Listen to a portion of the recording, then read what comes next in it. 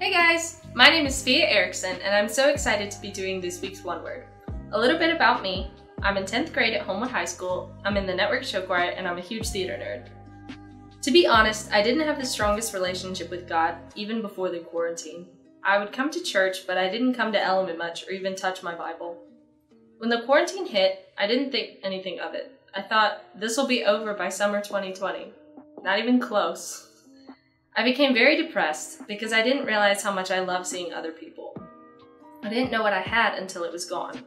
I lost all hope of seeing any good in the situation, and I lost sight of the one who was there for me while I turned away. I lost my focus. What brought me back to God was when I finally listened to his call and realized my emptiness without him. This is why my word for 2021 is focus. A verse that reminds me of this is 1 Peter 4 7. The end of everything has come. Therefore, be self controlled and clear headed so you can pray.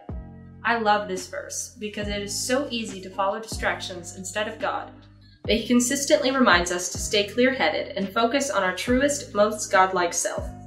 Toxic and distracting thoughts can be made new when you let God do the work for you. Focus on one negative reoccurring thought that you have and listen to God's alternative. When you find your focus, it is no longer difficult to hear God or see the amazing life He has planned for you. My name is Svea, and my word is focus.